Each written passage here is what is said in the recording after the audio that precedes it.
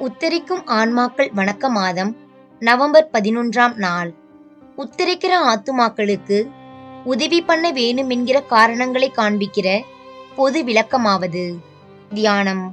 முன் சொன்ன தியானங்களில் உத்தரிக்கிற ஸ்தலம் உண்டென்றும் அதில் எண்ணிக்கையில்லாத ஆத்துமாக்கள் மனோவாக்கு கிட்டாத வருத்தங்களை அனுபவிக்கிறார்கள் என்றும் எடுத்து காட்டினோம் இப்போது இந்த ஆத்துமாக்களுக்கு உதவி ஒத்தாசை பண்ண வேணும் என்கிற விசேஷ காரணங்களை விவரித்து சொல்லுவோம். ஆயினும் முதலில் நாம் எந்த பிரகாரமாய் இந்த உதவி ஒத்தாசை செய்யலாம் என்று கொஞ்ச நேரம் ஆராய்ந்து பார்க்க வேண்டியது அவசியம். மனுஷனானவன் இருவகை திரவியங்களை சம்பாதித்துக் கொள்ளலாம். அதாவது ஆத்துமத்தை சேர்ந்த திரவியங்களும் சரீரத்துக்கடுத்த திரவியங்களுமாம். பணம் காசு உடைமை காணி வீடு வாசல். இது முதலானவைகள் சரீரத்துக்கடுத்த ஆஸ்தி திரவியங்கள்தான். ஜெபத்தினாலும் தபத்தினாலும் தர்மத்தினாலும் மற்ற எந்த புண்ணியங்களினாலும் வரும் பேறு பலன்களாகிய மோட்சத்துக்கு சுதந்திரமும் மற்ற ஞான வரங்களும் ஆத்துமத்தை சேர்ந்த ஞான திரவியங்களாம். இப்போது சொன்ன உலக திரவியங்கள் மனுஷனுக்கு சொந்தமாயிருக்கிறபடியினாலே அவன் அவைகளை தன் மனதின்படியே செலவழிக்க சுதந்திரவானாயிருக்கிறான் என்று யாரும் சொல்லுவார்கள் அல்லவோ? அதே போல அவன் அடைந்த ஞான திரவியங்கள் அவனுக்கு சொந்த ஆஸ்தியாயிருந்தாலும் அவைகளை சர்வேஸ்வனுடைய சித்தத்துக்கு கீழ்ப்படிந்து செலவழிக்க சுதந்திரத்தை கொண்டிருக்கிறான் என்று சொல்ல வேணும் அல்லவோ இவ்வுலக ஆஸ்தி உள்ளவன் தன்னுடைய திரவியங்களை தன் சொந்த அவசரங்களுக்கு செலவு பண்ணலாம் என்றிருக்கிற பிரகாரமே. அவைகளை புறத்தியாருடைய அவசரங்களுக்காகவும் செலவழிக்கலாம் அல்லவோ? அப்படித்தானே ஞான திரவியங்களுக்கு உடையவன் அவைகளை எல்லாம் தனக்கு வைத்துக் கொள்ளலாம் என்கிறது போலே அவைகளை சர்வீஸ்வரன் கட்டளையிட்ட பிரகாரமாய் மற்றவர்களுக்கும் கொடுக்கலாம் அன்றோ? அது எப்படி என்றால் ராஜாவுக்கு ஒரு மனுஷன் ஒரு பெரிய சகாயத்தை செய்தான். அதனாலே அவன் பேரில் ராஜா சந்தோஷப்பட்டு அவனுக்கு யாதோர் பெரிய வெகுமதி கொடுக்க போகிற சமயத்தில் இந்த மனுஷன் ராஜாவை பார்த்து நான் பெற்றுக்கொண்ட இந்த வெகுமதியை எனக்கு கொடுக்காமல் எனது சிநேகிதனான இன்னானுக்கு அளிக்க வேண்டும் என்று மன்றாடுகிறான் என்றால் அவனுடைய மன்றாட்டுக்கு ராஜா இறங்கி அவன் கேட்டது போல செய்வான் அன்றோ.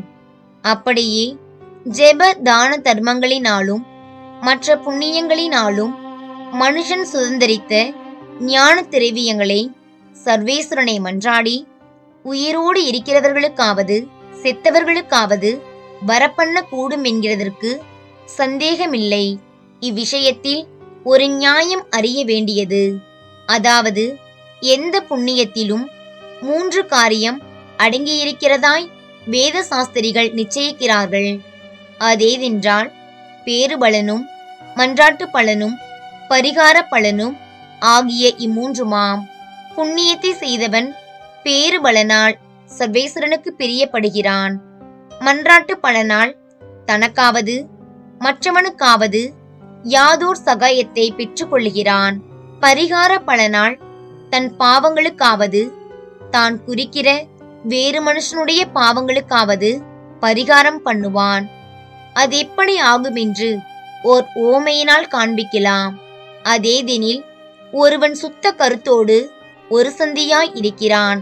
அது புண்ணியமும் தவமுமாய் இருக்கிறதினாலே தனக்கு வருகிற பேருபலனால் சர்வேஸ்வரனுக்கு பிரியப்பட்டு வெகுமதி அடைவான்.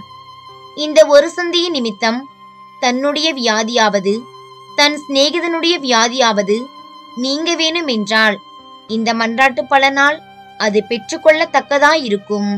ஒரு சந்தியாய் இருக்கிறது கடினமும் வருத்தமுமாய் இருக்கிறபடியினாலே இந்த வருத்தத்தை தன் பாவங்களுக்காவது புறத்தியாருடைய பாவங்களுக்காவது ஒப்பு கொடுத்தால் அது பரிகார பலனால் பரிகாரமாகும்.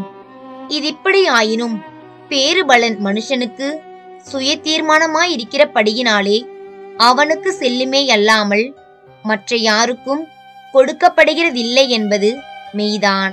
ஆனால் மன்றாட்டு பலனையும் பரிகார பலனையும் யாருக்கும் கொடுக்கலாம் என்கிறதினாலே அவைகளை உத்தரிக்கிற ஆத்துமாக்களுக்கு ஒப்பு கொடுத்தால் சர்வேசனுடைய மற்றற்ற கிருபையினாலே அந்த ஆத்துமாக்கள் செய்ய வேண்டிய பரிகாரமும் பட வேண்டிய உத்தரிப்பு வேதனையும் குறையும் என்கிறது. குன்றாத சத்தியமாம். இதெல்லாம் அதிக தெளிவாகும் படிக்கு இன்னும் ஓர் ஓமையினால் வெளியாக்குவோம். அது என்னவென்றால் ஒரு மனுஷன் வெகு கடன்பட்டு அடைக்க வகையில்லாமல் நடுவனால் சிறையில் வைக்கப்பட்டு அதிக வருத்தப்படுகிறான். அதில் வேலை செய்யக்கூடாததினாலும் பிச்சை இறக்கக்கூடாததினாலும் ஒன்றும் சம்பாதிக்க மாட்டாமல் தனக்கு விதித்த காலம் முடியும் மட்டும் இந்த நிர்பாக்கியத்தில் இருப்பான் அல்லவோ அவனுடைய அவதியை அறிந்த தர்மிஷ்டன் ஒருவன் கொடுக்க வேண்டிய கடனை செலுத்தி அவனை சிறையில் இருந்து மீட்டு ரட்சிக்கிறான். உத்தரிக்கிற ஸ்தலத்தின் ஆத்துமாக்கள் மட்டிலும் அப்படித்தான் ஆகிறதென்று யாவருக்கும் புலப்படும். முன் சொன்ன பிரகாரமாய் நாம் உத்தரிக்கிற ஆத்துமாக்களுக்கு உதவி ஒத்தாசை பண்ணக்கூடும் என்கிறதே சர்வேஸ்வரனுடைய பெரிய கிருபையும் மற்றற்ற சகாயமுமாய் இருக்கிறதல்லாமல் மற்றபடி அல்ல. இப்போது காண்பித்த வண்ணமே கிறிஸ்தவர்கள் சர்வேஸ்வரனை மன்றாடி உத்தரிக்கிற ஆத்துமாக்களுக்கு சகாயம் பண்ணக்கூடும் என்பது சத்திய விசுவாசமாகையால் அப்படி செய்வது எவ்வளவு நல்லதென்றும் அவசரம் உள்ளதென்றும் இனி சொல்லப்போகிற தியானங்களில் தேவ கிருபையை கொண்டு காண்பிக்க முற்படுவோம். கிறிஸ்தவர்களே நீங்கள் ஆத்துமாக்களை குறித்து செய்யும் ஜெபங்களினாலும் தர்மங்களினாலும் ஆத்துமாக்கள் படுகிற வேதனைகள் முடியும் அல்லது குறையும் என்று அர்ச்சிஸ்ட அகுஸ்தீனுஸ் நிச்சயமாய் வசனித்தார். அதனாலே நீங்கள் தக்க பிரகாரமாய் ஆத்துமங்களுக்கு செய்கிறதெல்லாம் வீணாய் போகாமல் பழிக்கும் என்கிறதை பற்றி மகா சுறுசுறுப்போடே ஆத்துமாக்களுக்கு உதவி பண்ண முன்வர கடவீர்கள். மேலும் ராஜாவுக்கு துரோகியாய் இருக்கிறவன் தான் அவனிடத்தில் கேட்கும் மன்றாட்டை அடைவானோவென்ன? சொல்லுங்கள். அவன் அடைய மாட்டான் என்றால் நீங்கள் ஆத்துமாக்களை குறித்து வேண்டிக் கொள்ளும்போது பாவத்தால் உங்கள் ஆண்டவருக்கு துரோகிகளே இல்லையோவென்று பார்க்க வேண்டாமோ? சாவான பாவத்தோடு இருப்பீர்களானால் முதலாவதாக உத்தம மனஸ்தாபப்பட வேண்டும். கடைசியிலே மனுஷர் செய்யும் புண்ணியங்களில் கருத்தும் கவனமும் பக்தியும் இல்லாததினாலே அந்த புண்ணியங்களுக்கு செல்லும் பலன்களை அடையாமல் போகிறார்களாம். அதனாலே நீங்கள் ஆத்துமாக்களுக்கு செய்யும் ஜெபங்களையும் தர்மங்களையும் வேண்டிய கருத்தோடும் பக்தியோடும் செய்ய வேண்டுமென்று அறிய கடவீர்களாக. புதுமை நவம்பர் பதினொன்றாம் நாள். கர்த்தூசியான் சபையில் உட்பட்ட பெரிய சாஸ்திரியான சூரியோஸ் என்பவர் அச்சிஸ்ட கிறிஸ்தி நம்மாளுடைய சரித்திரத்தை எழுதினார். உத்தரிக்கிற ஆத்துமாக்களின் பேரில் இந்த அட்ஜிஸ்டபிள் மிகவும் பக்தியாய் இருந்ததினாலே ஆத்துமாக்களுக்கு உதவி சகாயம் பண்ணத்தக்கதாக சொல்லிலும் நினைவிலும் அடங்காத தவக்கிரியைகளை நடத்தி கொண்டு வருவாள். ஒரு நாள் ஓர் அதிசயமான காட்சியை கண்டால் அதாவது அவளுடைய ஆத்துமம் சரீரத்தை விட்டு பிரிந்து சம்மனசுக்களால் தூக்கப்பட்டு உத்திரிக்கிற ஸ்தலத்துக்கு போய் அதில் ஆத்துமாக்கள் அனுபவிக்கும் கொடிதான வேதனைகளை பற்றும் பற்றாய் தரிசித்து கண்டாள்.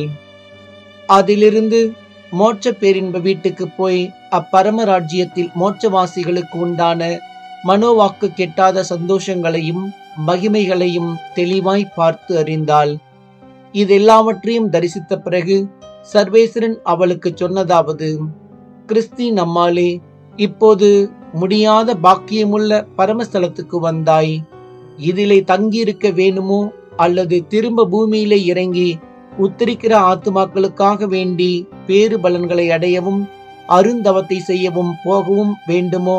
இவ்விரண்டில் எது உனக்கு அதிக விருப்பமாக இருக்கிறது என்று சொல்லுவாயாக? என்றார். அதற்கு அவள் விடையாக நிர்பாக்கியமான ஆத்துமாக்களுக்காக வருத்தப்படவும் தகன பலியாகவும் இருக்கத்தக்கதாக உம்முடைய சித்தமிருந்தால் திரும்ப பூமியிலே இருக்க தெரிந்து கொள்கிறேன் என்றாள். இந்த காட்சியை கண்ட பிற்பாடு அட்ஜிஸ்டர் கிறிஸ்தின் நம்மால் ஆத்துமாக்களை குறித்து முன்னிலும் நூறு பங்கு அதிக அருந்தவ கிரியைகளை செய்து கொண்டு வருவாள். அநேக நாள் யாதோர் ஆகாரம் புசிக்காமல் இருப்பாள். தன்னுடைய மிருதுவான சரீரத்தை இரத்தம் திரளாய் ஓடு மட்டும் அகோரமாய் அடிப்பாள். கூர்மையான முட்செடிகளுக்குள்ளே புரளுவாள். எவ்வகையிலும் தன்னை உபாதிக்க தேடுவாள். அவள் தன்னை படுத்துகிற கொடிய வேதனைகளைக் கண்டு மற்றவர்கள் அதிசயப்பட்டு கிறிஸ்தி நம்மால் இப்படி உயிர் பிழைக்கிறது பெரிய புதுமை என்பார்கள். அப்படி அவள் யாதொன்றையும் அநேக வருஷம் குறையாமல் அருந்தவத்தை செய்து வந்ததினால் திரளான ஆத்துமாக்களை உத்திரிக்கிற ஸ்தலத்திலிருந்து மீட்டு மோட்ச பேரின்பத்திற்கு சேர்த்தாள் என்பது அதிசயமல்ல. அவள் அப்படி மீட்டு ரட்சித்த ஆத்துமாக்கள் அவளுக்கு காணப்பட்டு அவளை வாழ்த்தி தோத்திரம் பண்ணுவார்கள். கடைசியிலே அவளும் அந்த எண்ணிக்கையில்லாத ஆத்துமாக்களால் சூழப்பட்டு பாக்கியமாய் மறித்து மோட்ச பேரின்பத்திலே சேர்ந்தாள். கிறிஸ்தவர்களே உயர்ந்த கோத்திரத்தில் பிறந்தவளுமாய் மெல்லிய சரீரம் உடையவளுமாய் இருந்த கிறிஸ்தி நம்மாள் உத்தரிக்கிற ஆத்துமாக்களுக்காக அவ்வளவு அருந்தவ கிருத்தியங்களை நடப்பித்தாள் என்று கண்டு நீங்கள் இந்த ஆத்துமாக்களை குறித்து ஒன்றும் செய்யாமல் இருக்கக்கூடுமோ?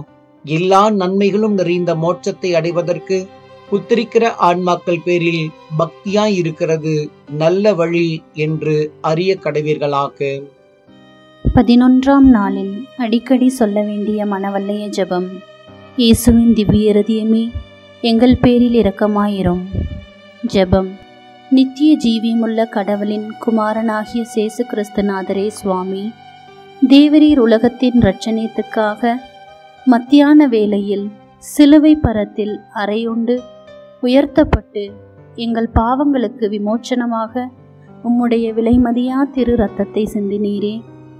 அடியோர்கள் மோட்ச ராஜ்யத்தில் பிரவேசித்து நித்திய ஆனந்த மகிமை பிரதாபத்தை அடையத்தக்கதாக அனுகிரகம் செய்தருள வேண்டுமென்று தேவரீரை தாழ்ச்சி வணக்கத்துடனே மன்றாடுகிறோம் சுவாமி. ஆமேன்.